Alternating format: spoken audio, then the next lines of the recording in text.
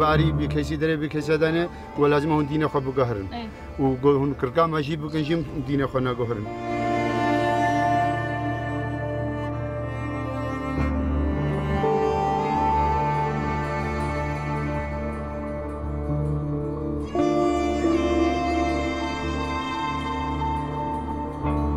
کسک تبيجي رحمة وان هبان نبو هەما بێجا ئاری وەڵە هەموو ئێمە هەموو گرتن برن زارۆک و ژن و هەموو سەرژی.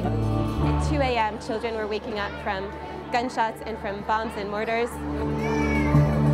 The people who are currently in this hall right now ran into the Sinjar Mountains where they were stuck for uh, up to 10 days uh, without adequate food, without adequate water.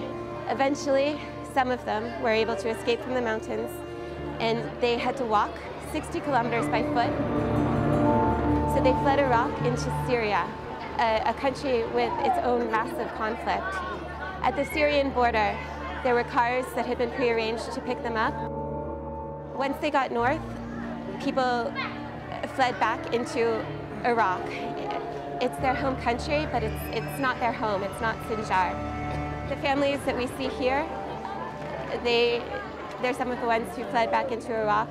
They're living with absolutely nothing. They fled with the clothes on their back and their children in their arms.